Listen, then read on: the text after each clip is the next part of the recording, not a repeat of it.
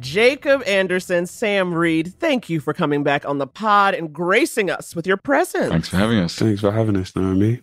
We have much to discuss. All right. Okay. because I was shooketh. Okay. It was, which means I was shook on a Shakespearean level. Okay. That's what it is to be shooketh. and can you tell me what were each of your reactions when you read this script? I got very confused about who knows what at what point. I did, well, actually, all I knew is that Louis knows nothing. knows very little.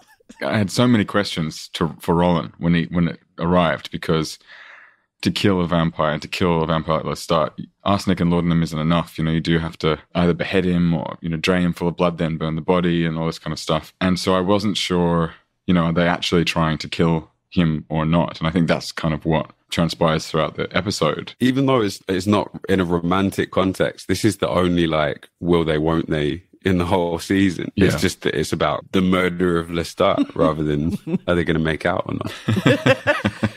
Well, murder is their love language, isn't it? That absolutely. Absolutely. Yeah. Not each other. I mean, Lestat does drop him from the height of a 747. oh, God, don't get me started. yeah. It's like, cloud gift. How beautiful. And then, you know, he's like, I'm going to drop you from the sky. I said, well, savage, savage. Yeah. Jacob, why do you think Louis agrees to kill Lestat with Claudia?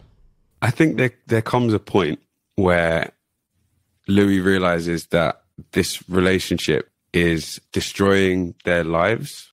And I kind of think he knows that the only way for he and Claudia to actually be free or have any kind of uh, semblance of freedom is they have to take him off the board. It's the only way they're going to get out of that house and out of New Orleans. And I think it's it's not something that he's comfortable with.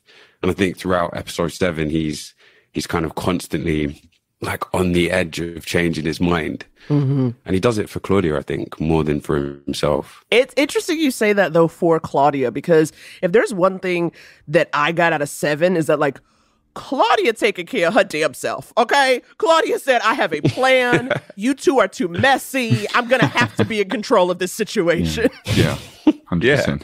Yeah, yeah absolutely. and I mean, I think what I really like also about this episode with Claudia and Lestat's relationship is that I think they are a good match for each other. And I think Lestat does respect Claudia mm-hmm. actually, particularly once he realizes what she's done and the plan. You know, and, and you know, as she's stomping the crap out of Antoinette's head, he sort of thinks, wow. this, this is just quite. That's my daughter. Yeah. That's my girl. it's, it's a baller move from Claudia. Yes, it's a baller move, but they're also trying to kill Lestat. But he understands why he has to die or why Louis has to kill him. I mean, I think he, you know, it's like probably the only point in the whole show where he has a tiny sliver of humility. really, you know, and he has to be like poisoned and on his knees and have a knife at his throat and kind of totally incapacitated for that to happen. And so I think he knows deep down that Claudia can actually probably give Louis maybe something that he can't give him, which is, you know, a sense of purpose, perhaps. And also like a sense of consistency, right? yeah, okay, sure. Because Lestat's definitely not consistent. No, he's very chaotic. it's always on his terms, whereas Louis and Claudia are fairly successful at living this kind of slightly domestic situation where they can be a family. Yeah. Sam, you talked about this moment of humility that Lestat has. But to that, I say, Antoinette? really? How do you think Lestat justifies this betrayal of Louis? Discuss. yeah, discuss. um, look, I'm not going to try and justify. I don't think he his actions are justified, but I would say that Lestat needs to be loved. Mm-hmm. That's sort of like he needs that. He really needs adoration and worship, and he needs those things. He needs. He need. That's how he feels justification. I mean, he loves Louis, but also Louis and Claudia have their own bond that he is alienated from, and he wants them to stay together, and he wants the family to stay together. But he also does feel a little bit left out from that bond, mm-hmm. and so you know he goes to Antoinette and he keeps going back to Antoinette to get that sort of adoration and um, to have that to have a different type of relationship that he's not getting from Louis, and that's what he needs. Right. It's not great. I wouldn't condone it. I'm not condoning it, but but that's you know that's what he needs, and he does say that very early on. He you know he makes his point to Louis that you know he, sometimes he likes a little variety, and he, he he he's not saying he doesn't love him any less, but he's not necessarily a monogamous guy but he is monogamous of the heart. Mm, okay. you know, Mhm, you know. I mhm. think that the main deceit is also that he said that he's killed Antoinette, and he and he hasn't. You know, that's that is that is deceitful. But it also goes to show that he can't kill her. Mm-hmm. You know, I always wonder about his relationship with her, whether he really likes her or he just likes her music, or you know, she's a perfect vessel for him to write music through and give to Louis. I you know, That's which is so deeply fucked up. yeah, it's just, yeah. I know. I think that's one of the more fucked up elements of the whole show, really. yeah, Yeah. yeah. Yeah. He definitely finds a function for Antoinette. I was wondering, like, did Lestat turn Antoinette simply to use her to, you know, listen in on these conversations, you think? Because again, this all happens off screen, so it's kind of left up to us. But I wondered if it was just that, or because they do have this connection over years, and Lestat says she'll be better for us to Louis. You know, like she'll be better for our dynamic. Um, I'd say, yeah, yeah, he did do that for that reason, and I think he makes that decision up when he knows that Claudia and Louis are outside the room in episode six, listening, and he says, "I love you" to Antoinette, and she says, "I love you" to Lestat because he knows they're outside the door listening. I think he makes that decision there, and then this is going to be the the thing that gives me the power back Mm-hmm. because I'm I'm now left out of this relationship, and so he yeah he he's you know he's a user and an abuser, unfortunately. Ugh, ain't that the truth? I don't know what he's talking about as well. You know, and he's like, the three of us will be much better together. I think, like, at that moment, Louis would be like, what are you talking about? Her. Definitely. Yeah. I really felt like I was like, I was like, Antoinette, you was a side piece for like 30 years. And it's like, girl, you don't have to be in mm. the thrall of this vampire mm, man. Mm. But this is this is part of the trap, though, right? Of the of the vampire bond, which I guess is is also a proxy for love, for like deep, real love. There are so many reasons why these characters shouldn't be together, and it's probably the same for Antoinette, right? She will have a version of the vampire bond with Lestat. It might not be as deep as it is with Louis, but she's stuck in that trap. She's she's attached to him forever. Well, well until she Dies. Yeah. isn't. Yeah, but like, but th- I think that's why it's it's why Louis has to kill him to free his family, to free him and Claudia, but also why he can't kill him. It's like this cycle that can only really be broken with eternal death, uh, actual real death. yeah. Yeah, yeah. Hmm. Let's talk about though what it takes for Louis to extricate himself from Lestat. They need to throw a huge ass party, which means they need to step out of their vampire lair and interact with the rest of the city, which they have not done in years. Hmm. So let's listen to a little clip with our dear sweet Tom Anderson. Somehow managed to survive. I didn't see it coming. I said I thought he'd be dead by episode four, and he the only one left. Yeah. Let's just listen to this. Oh, seeing as it's been 17 years since we've spoken, what makes you think I give a corn peppered shit? We'd like to engage your services, Mr. Anderson. We want to throw a Mardi Gras ball. Pay our respects to society before moving on. mm, where to start? Uh, one, not in the party planning business. Two, it's January. You're a little bit behind the gun. And three, this is me and your two tone daddies circa 1910. Well, Just one question before I attempt your no doubt humiliating and reputation destroying ask. Where do you meet the devil? And what are the terms of the agreement?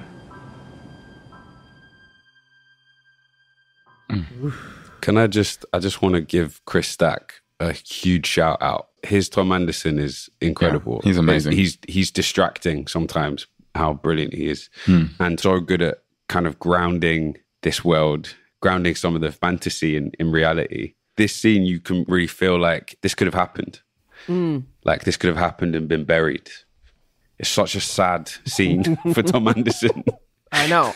also, I think what you get and what I find to be so relatable to today is you just see the extent to which people can be bought. Mm. And you see the extent to which wealthy people will let anything slide as long as they get to maintain their power. Yeah. He tries to buy eternal life Yeah. in this scene. One of my favorite things that I think I didn't really realize until we were shooting that scene is that like Louis gives Tom this little smile. We tried it different ways. We did like a little wink and a little like nose tap. Mm-hmm. And it's like the tables have turned from the beginning. This is something that Tom Anderson wants from Louis and he can't mm. have it. Yeah. I think Tom Anderson is realizing that he's going to die soon. he's at the end of his life, and the people you step on on the way up, you're going to see him again on the way down. Yeah. and I think Louis is one of those people. Yeah, yeah. There's also something that I feel like I clocked more in hearing this clip was that little cough from Tom Anderson, right? Mm. Just a touch of a cough. And you know back in the day, honey, if you coughed, you were about to die. Okay? Yeah. Don't be coughing. how much of this though, this party planning, you know, this this long, long con, how much of this is also about getting revenge on the city in a way? Yeah, 100%. It's like a coming out sort of celebration. They've been there for too long. They've overstayed their welcome. They've got all these rumors around them. And if they're going to leave, you know, they may as well have this like big, here we are, we're monsters and, and this, and we're everything you thought we were. We'll go without the blood for three nights preceding the ball. At the ball, Louis and I will be following you, Lirina. Maybe pluck one or two for ourselves. We'll ask them if they want to be young forever. And if they say yes, we'll pin them with one of these. Hmm. Amaranth. Perfection. We'll invite them to our home. We will lock the door, shutter the windows, and And let the flesh instruct the mind. Let the flesh instruct the mind. let the flesh instruct the mind. Can we talk a little bit about this party? I just love that, like, if you're gonna kill Lestat, you are serving drama. You are serving one night only. You are serving quick changes. That's the only way to get his guard down is to give him Yeah. that show Lots of costumes. that he loves Yeah. so much. yeah, so it's it is actually quite joyous in that regard, even though you know eating a prop baby in front of I, it was so extra. It's so extra, and I wrote the vibe has shifted. That's what I wrote in my notes because I was like, we're all having fun until he eats a prop baby, and everyone's like, ew, uh, this is ruined. you have to speak in the language of Lestat in order to disarm him. I mean, obviously, this is the double blind of the episode. This is why it's so confusing to shoot because Lestat is aware of the trick Right. from the very beginning. But the plan gets messy, largely because Louis is having a hard time going through with it. Mm. And it also seems like he's sad to be leaving not just Lestat, but leaving New Orleans. I think as well for, for in terms of it being like a, a farewell to New Orleans. I think like Louis has lost touch with New Orleans. He's like become a complete hermit. He has no ties any anymore. Mm-hmm. Part of him falling in love with Lestat again, I think is also him falling in love with the city again.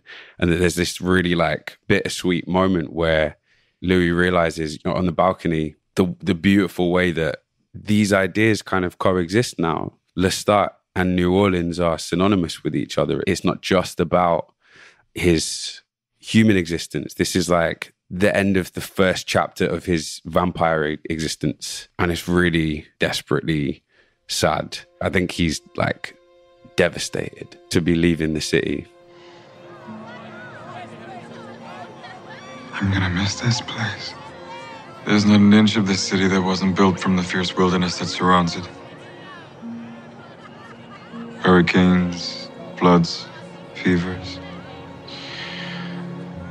The damp climate on every painted sign, every stone facade. High windows, through which enameled bits of civilization glitter. Silhouettes emerging, wandering out to catch a silent flash of lightning. The sucky warmth of summer rain. Desperately alive. And desperately fragile. A last dance before the feast. I'd like that. I'd like that very much. So much would be written about that grim night in New Orleans, but not a single mention of our last hour at Latrobe's. As if the only crime unfit to print took place on that dance floor. It was my sole duty to distract Lestat. But in his mirrored eyes, the distraction reflected back onto me. And in the dead center of the whispering gallery, I lost the thread to my plotting and fell once more into the well with no bottom. I was his, and he was mine. Ugh. Louis and Lestat kiss in front of everybody. To me, that was just emblematic of the extent to which both Louis and Lestat had lost the thread to their plotting. Yeah. Right? Because they wouldn't have done that in front of everybody. Definitely. Yeah. I mean, I think that they, they transcend society by this point. They don't need to be a part of it. They've been a part of it because probably that's what Louis wanted. And Lestat was having a good time. It was a great place to hunt. But, you know, they can go anywhere and do anything. They don't need this society anymore, but they really need each other. You know, Lestat's aware they're going to try and kill him. And that's what he says to him when he's talking about something else. He's saying that to him on the balcony. You know, he's saying, I know you're going to kill me. Oh, I know you're trying to kill me but we love each other or we did once you know do you want to try and do it again and shall we dance together you and me alone they're not kissing in front of anyone for anyone but themselves and i think you know it's it's it's very sad really It is. It's desperately sad. I'll say, Yeah. watching this in that scene, there was a part of me was like, oh, I wish they could have been that. You know, like I wish that had been their relationship. I think they do as well, right? yeah yeah And it's I love the disappointment as well. Like I love the disappointment in like the only crime unfit to to print took place on that dance floor. There's mm-hmm. this horrific event that happens that night, and there's this one pure moment, this one loving, pure thing in this room full of like dirty people. There's something really clean and simple about love. And that is the thing that is so loaded with shame and disgust. Is the, the one thing that isn't hubris. That's why Claudia comes in and is like, remember why we're here. Look around you. Look at him. Yeah, I d again, I just think it's a really, it's it's beautiful, but it's really sad. It's just mm-hmm. a, it's there's so much sadness in this, in this Right. episode. As crazy as it gets. Oh, mm-hmm. Well, let's talk about how crazy it gets because after this, we get to our killing scene, which is so brutal, so violent, mm-hmm. ripping off a jaw, like mauling people. Like it's. Can you talk a little bit about actually shooting that? How many nights was that? How long did it take? Did you smell like corn syrup for days? we shot it over a long time it was like two weeks three weeks or something Yeah. it was it was all oh, split really? up over yeah there's lots of different segments and we shot it over a couple of units Yeah, and, and it felt like the beginning of the end as well. Yeah. Shooting that. and we spent days and days and days in these bloody shirts, which Jacob and I both still own. that was the only thing we took. We took from the set. It's a metaphor for the the hold that this show has over us. I think But does like- yours does yours fold? Mine mine's so like crispy, like it's dried. yeah, but I think mine is still just sweaty inside the plastic thing. oh, like you, it's. I've taken it out of the plastic, Yeah. so it get I moldy. didn't dry it out. Yeah. But occasionally, de- depending on the weather, like mine will kind of like re-dampen, and it will start to like you know be movable again, and then it will harden. it's a very strange object to have. it's very weird. It's very weird because This it's, so mo- gross. it's it's mostly covered in mouth blood.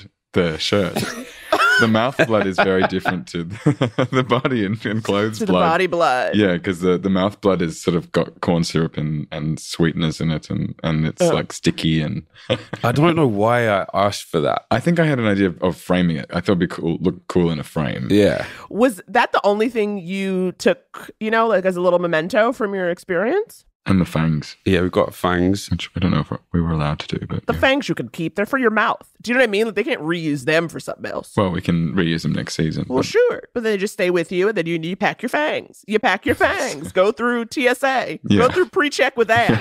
and you'll be like, good lord. Oh no, do you know what I have? I think I have the best prop. I have Louis de Pointe du Lac's American Express card That's cool. What? from 1976. Yeah, and Rolin texted me and was like, you asshole.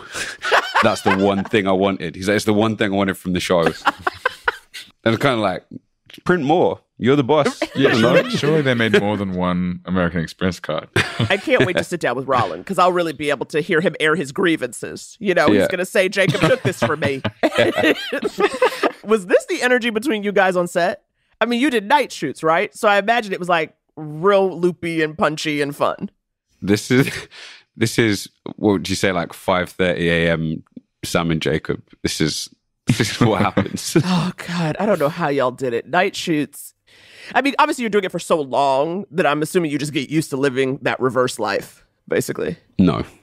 Okay. No. You don't really you get used to it. that. Sometimes you do watch the show and you you know and then you remember like oh we shot that at like four o'clock in the morning. It's it's surreal because you forget, but um but we're vampires and it's important. It's So- important. Yes, it is important. But then there's there's also you have to like factor in that at a certain point you've done so many nights that it would be more destructive to do to just switch to days. So like Dubai was all shot at night. It didn't need to be, but we shot the whole thing at night, partially because I was jumping between sets. So mm-hmm. that would have been an, an actual nightmare.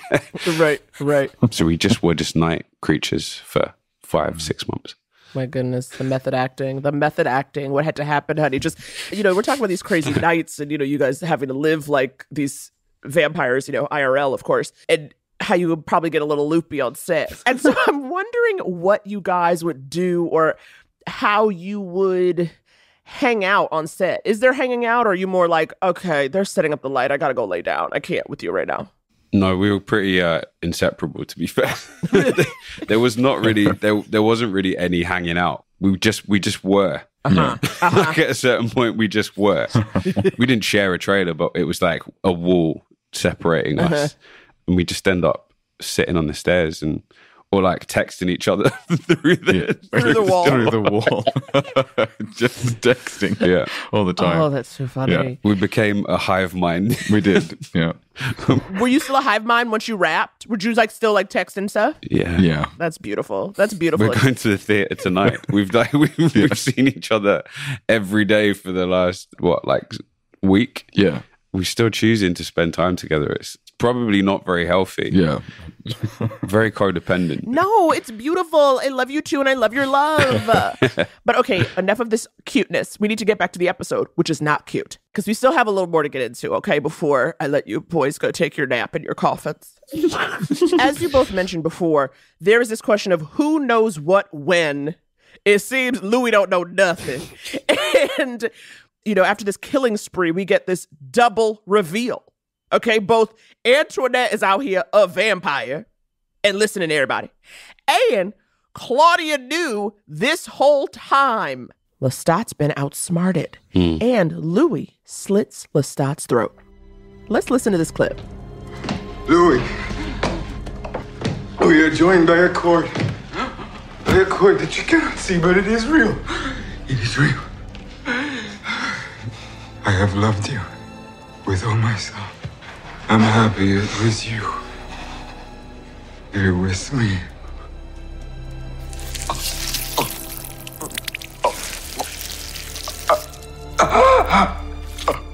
The blood poured out of him as it might never pour from a human being. All the blood he had filled himself with, he lay now on his back, his eyes staring wildly at the ceiling, the irises dancing from side to side. The thing lay still. Yeah, we know he ain't dead. I mean, here's a question though. Claudia says where she's like, we have to burn him. Like, we have to burn him. And Louis basically like, I can't. I can't. Do you think this was always the plan? Meaning to just buy enough time for Louis and Claudia to get out? No. To be honest, I think Louis is is so traumatized by the whole thing at this point that I think he's just kind of acting on instinct a lot. I don't think that he has that kind of Machiavellian sense. Mm-hmm. He's not a chess player, you know? Right. He, he's running on instinct. And I think it is just that thing that we talked about earlier of the, the vampire bond. It's stronger than anything you could imagine. There's there's not really an easy way to comprehend it. On some level, it's kind of like if if you end Lestat, you end Louis. But it's very difficult to sort of pinpoint why in his guts he can't do it. But it is like that's the frustrating thing, right? About the vampire bond. You, you kind of you know it when you see it. right, right. Yeah, and I mean, I think he as does actually see it as a moment of intense love as well. Mm. He can see that it's not easy for Louis to kill him, but he also accepts it. You know, he's not fighting it. He sort of says, "Okay, Right. I would like to play a clip of Daniel Malloy talking to Louis in the present day. And I got to tell you, I've never had a character say something that I wanted to say to the other character so much. And that's why I love this clip. You don't need a memoir, Louis. You need 100 sessions of EMDR. You know the shit they put soldiers through when they see one of their platoon buddies get blown up in front of them? You've only heard half the story. Stop. 144 years of life, and you're still Louis the pimp, paying a whore to sit in a room and talk with you. Because why? You got some story you want to tell the whole world about yourself? When you hear it, you'll be ashamed. Ashamed of what you say to him now. Please stop, Rashid. $10 million. That's my whore number. Career's been over for years, but an honest reckoning? No. This is the same shit that happened in San Francisco. Well, Daniel Malloy's not wrong, okay? Because after this, we discover Rashid is Armand. And I swear to God, when Louis said, the love of my life, I said, Louis, girl, you ain't learned nothing about nothing. Is Louis just one of these people who has to keep a man? Do you know what I mean? Like someone who's like, I'm a chronic monogamous. Yeah. Every hundred years, I have to have a boyfriend. Louis don't need no love of his life. Louis need to love his damn self. Louis needs to stop being in relationships. I I agree. I 100% agree. Mm-hmm. When he says the love of my life, there's a little bit of a question mark in there as well. Well, sure, sure. There's an eye roll, a question mark, side eye. what I come away with, and I think a lot of viewers, there's this question of Lestat and whether or not he is honest and the lies of omission. Yeah. But to me, this ending makes you sound to say, okay, well now, why has Louis been lying all this time? To me, I'm like they're both unable to be honest with them their own selves. You know what I mean? Let alone each other. Yeah, I think that's I think that's it. Is it's it's it's protection. They're they're protecting themselves. Right. And he needs a lot of therapy. And obviously this interview becomes that Yeah. to a certain extent. But he's he's so traumatized at this point. His entire life has has just been called into question. He's exposed himself in a way that he he really didn't anticipate at the mm. beginning. This has not gone the way he planned. And not only that, but I think while Daniel diagnoses it as like lying and and withholding, I think there are things that just he he blocked out. I, I mm. think he really does believe what he's saying for the most part.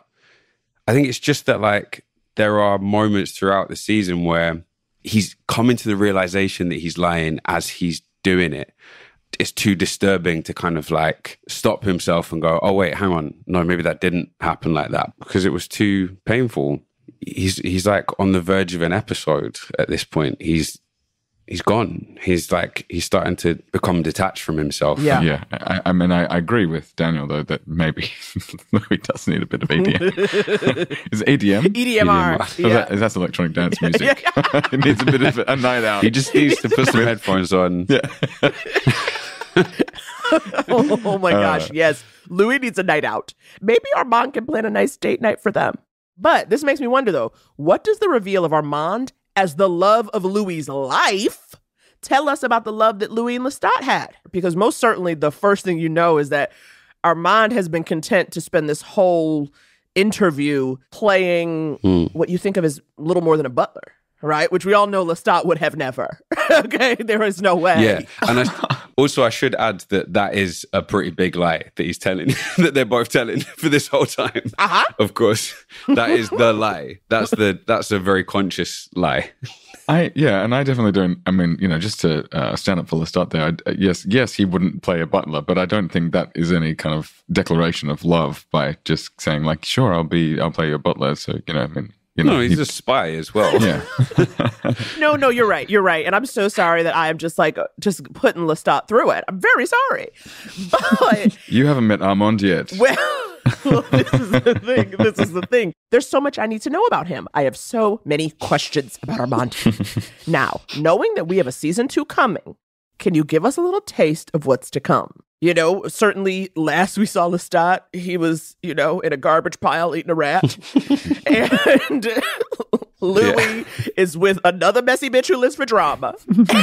so, what do we think? We have to deal with the fallout now. I th- like. I think Louis and Claudia's dynamic is going to be very interesting after this. Essentially, Claudia was trying to protect both of them, and Louis threw it in her face. I guess. Mm-hmm. So, like, that's going to be an interesting thing to explore. Yeah. Sam, do you think the Lestat is out for blood, you know, more than usual? Yeah, it's going to be interesting. I don't really know. I don't really. Yeah, I don't. I mean, I know because I know what happens in the story. but I think what's going to be interesting is next season we're going to meet Armand, and Armand, you know, is an old vampire. He he knows all of the vampires, so he's an interesting character to bring in because he he links a lot of other other vampires in the world to him. So yeah, I in terms of Lestat, I mean, yeah, I can't. I don't know if I could just. no, we need to stop, Sam. Yeah, I can feel you. Like you're about to. Uh, just stop. Yeah. Well, yeah. oh my god i just want to say you guys congratulations on a wonderful season congratulations on the season to come and thank you again for coming on the pod Thank you very much. Thanks for having us. Thank you. Thanks, Naomi. It's always a pleasure.